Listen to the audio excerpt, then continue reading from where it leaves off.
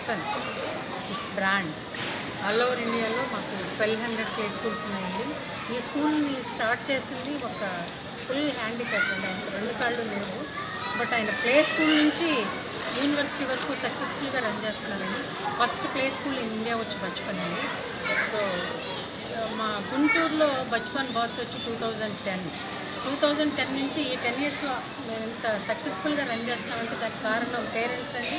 Plus parents Bachpan మీద నా మీద నా స్టాఫ్ మీద ఉన్న నమ్మకం తోటి మేము ఇంత సక్సెస్ఫుల్గా రన్ చేస్తామండి ఇంకోటి ఏంటంటే నేను ఫస్ట్ గ్రాండ్ మదర్ని నేను సెంట్రల్ ఎక్సైజ్ అండ్ కస్టమ్స్లో వర్క్ చేసేదాన్ని.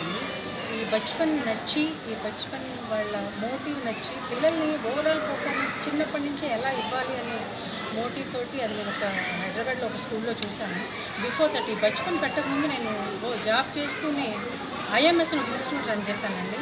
ఇంజనీరింగ్ పిల్లలకి కోచింగ్ ఇచ్చేదాన్ని. క్యాట్ మార్ట్ జిఆర్ అంటే చాలామందిని అబ్రాడ్ పంపించాను.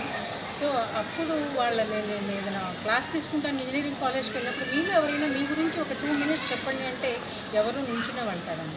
నేను ఏదో సడన్గా ఒకసారి హైదరాబాద్ వెళ్ళి మా కాన్ఫరెన్స్కి వెళ్ళినప్పుడు వచ్చుకొని నచ్చి తీస్తే ఇప్పుడు మా పిల్లలకి మైక్ ఇవ్వండి ఎవ్వరూ వదిలిపెట్టరు. మీరు ఎంత కాన్ఫిడెంట్గా డ్యాన్స్ చేస్తున్నారో చూడండి. అదే మేము జస్ట్ వాళ్ళకి ఒక టెన్ డేస్ నుంచి మాత్రమే ట్రైనింగ్ ఇస్తాము బిఫోర్ దట్ ఇవ్వలేదు మీ అది మా పేరెంట్స్కి నా మీద మా నమ్మకంతో టెన్ ఇయర్స్ నుంచి చాలా సక్సెస్ఫుల్గా రన్ చేస్తున్నానండి. ఫస్ట్ మెయిన్ థింగ్ ఏంటంటే నా స్టాఫ్ ఎవరింటికి వెళ్ళి ఎప్పటి వరకు ఈ టెన్ ఇయర్స్లో మీ పిల్లల్ని నా స్కూల్లో చేర్చండి అని అనలేదండి. నేను ఎక్కడ అడ్వర్టైజ్మెంట్ అవ్వలేదు బట్ నాకెప్పుడు కూడా one hundred and fifty strength అసలు తగ్గదు.